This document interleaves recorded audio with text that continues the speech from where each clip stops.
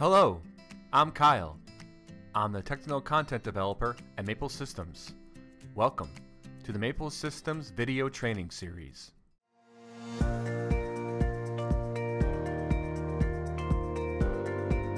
You will need to watch the video how to connect to Codesys using a remote I.O. and an HMI before you continue watching this video.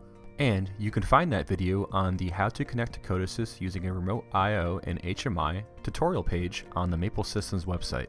In the previous video, I showed you how to go online in Codesys with an IRETN 40R remote I.O. and CMT device through Modbus communication. In this video, I'll be showing you how to communicate via Modbus with a CMT device, IRETN40R, and Codesys to turn a digital input and output on and off utilizing EB Pro, Easy Remote I.O., and the Codesys application software. Now in the previous video I explained how you would set up the network configuration but in this diagram I am showing an IRETN40R so this is how you would wire the digital input.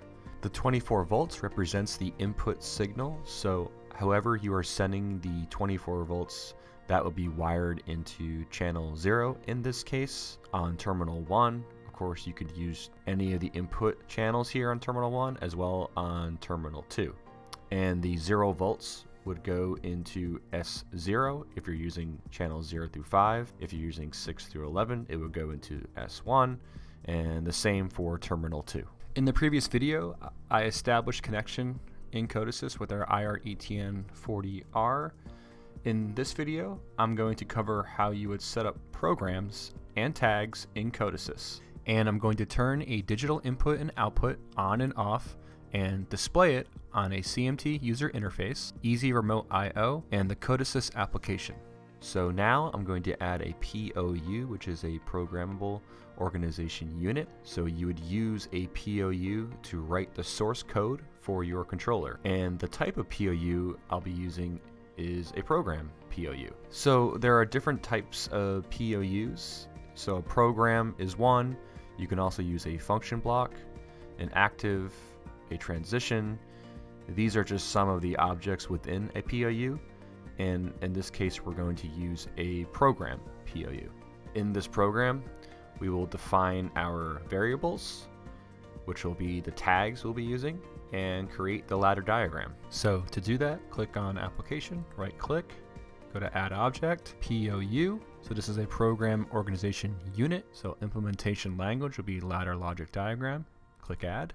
So this window is where you type your variables. This is where you define your variables. And in this window, this is where you would insert your ladder diagram. So this is going to be your actual ladder diagram that you'll be communicating with. So in this window, I'm going to define a digital input tag and a digital output tag to use in this window. So this will be my actual ladder diagram. So I can't use any variables here without defining them in this window first. So DI underscore I, so digital input underscore terminal 1, which is the terminal we're using on the IRETN40R, underscore 0, space, colon, bool, which is the data type, semicolon, hit enter, and now we're going to type the digital output, which will be DQ. Q Q is abbreviation for output, and then terminal 1, and then 00, zero space colon, bool, semicolon, enter. If you would like to get more information on the types of variables and data types, you can always go to the help in Codesys and then click index. And when you get to the index, you can just type in data types under look for and then click data type and gives you a description of the data types. You can go to standard data types you can also go to user defined data types and also here on the left you can type any bit and it gives you a description. Click on the plus sign for standard data types. If you'd like to find out more on integer data types, click and it gives you different types of integer data types. You can go back. If you'd like to find out anything on the different types of data types, standard data types, integer data types, just click on the help tab and click on index and you can type anything under look for. And that's all the variables we'll be typing here. So now let's go down to our ladder diagram. We're going to right click, click insert contact, click the question marks, the three ellipses. We're going to add that digital input and then right click again and insert coil, three question marks, ellipsis, select the digital output, hit OK. And now we will need to map these channels to our IR ETN40R. So our Modbus channel. So in order to do that, let's go to our Modbus TCP slave here. So here is where you will assign the tags that you just created in your POU program to the actual IR ETN40R remote I.O. channels. So in order to turn on the physical digital input and outputs, the tags have to be mapped here to the actual channels. So when you look at these channels, this is the same layout as the physical IR ETN40R. Remember, in the previous video, when we exported the XML file from Easy Remote IO and imported it into Codesys to create this slave device. Well, these are the channels that we imported. On the IR ETN40R, there are 24 digital inputs between terminal 1 and terminal 2, and 16 digital outputs between terminal 1 and terminal 2. So that's what you're seeing here, but there are also four extra channels left over each terminal for digital input and digital output. So I'll show you what I'm talking about here. So if you go to digital input, built-in terminal one, digital input, click the plus sign. There you can notice there's zero and one here. Digital input zero is the first six digital inputs on your IR ETN40R and digital input one are the last six. But you'll notice that when you drop this down, you'll see one, two, three, four, five, six, seven, eight. The last two 7 and 8, even though they're labeled 6 and 7, bit 0 is the first bit. So the last two here are the leftover. So for each channel, there are two left over. These are just an offset of memory, and they don't have any use for the physical remote I.O., so you can just ignore these. When you put that into consideration, there are only 24 digital inputs between terminal 1 and 2, and only 16 digital outputs between terminals 1 and 2. There are 12 digital inputs for terminal 1, and there are 12 digital inputs for terminal 2, and then there are 8 digital outputs for terminal 1 and 8 digital outputs for terminal 2. And so you'll notice that for the digital outputs here, there is an R and then there's a W. This stands for read and write. To get an explanation on this, go to your Modbus slave channel and you'll see it gives you an access type here. So the R is just a read coil, and then the W is a write coil. So for the digital input, you'll notice that it's just a read input. That's because it's just reading the digital input, so that's fine. And for the digital output, we want to write, so you'll want to assign the digital output tag to the write multiple coil. So if you go back to your IO mapping, and now that I've explained all that, you can probably take a guess where we want to assign digital input channel 0 terminal 1. So go to this channel here, built-in terminal 1, digital input, drop this down. The first six, because we're using channel 0, we'll want to choose this one right here. This will be for the, the last six on terminal 1. So I'll drop this down, and you can see I already assigned it here. Digital input channel 0, which will be right here for terminal 1. And so to do that, you'll double click on variable, the variable column here, and three ellipses. And we'll want to choose from application, POU, and then choose digital input terminal one zero. Hit OK. And so that's assigned to the correct channel. Now that's mapped out to the actual IR ETN40R remote I.O. And for digital output, we want to just write to digital output channel 0 terminal 1. That would be right here. This is the right channel. Drop this down, just down again. And so we want channel 0 for digital output. So double click here, three ellipsis, and choose the DQ, which is digital output, terminal 1, channel 0. Next, we need to create a task. So go to main task here on, on the left, right click, add object, and we need to call the program that we created. So program call, three ellipsis, drop down the application, select the POU program, hit OK, then hit add. And Finally, we'll need to add a symbol configuration.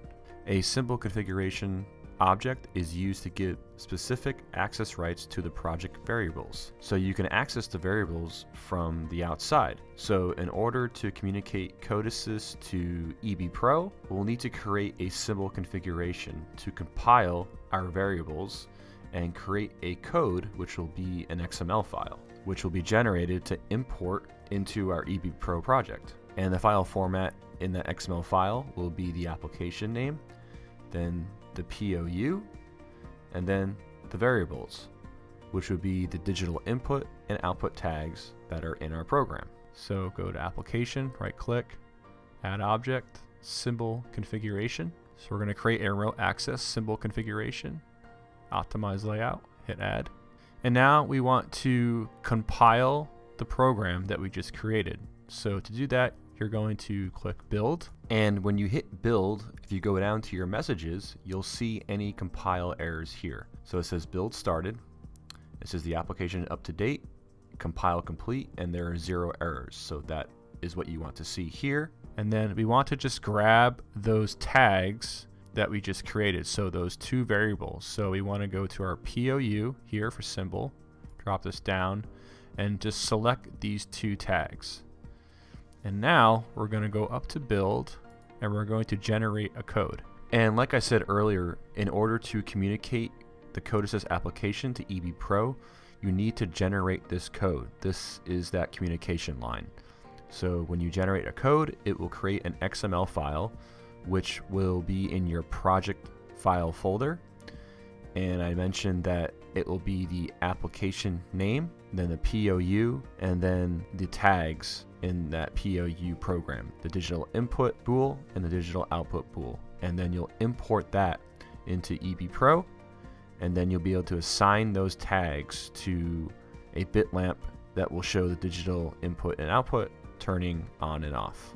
So we're going to generate this code and you don't see any errors down here under messages. So if you go here, it says that you have generated the code. Let's go online. So go to online, log in, log in with online change. Make sure that you always click that option, hit OK.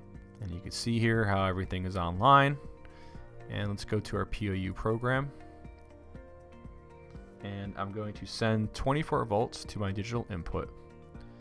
And then that will turn on digital output as well. And you can see that's working. Both of the bools are true. Digital input and output are on. So now let's go into EB Pro and we want to set up our CMT user interface. So put my EB Pro project. So the next step is connecting the Codesys application that we are just in to EB Pro. Now earlier on I explained the generating code in Codesys, which creates that XML file.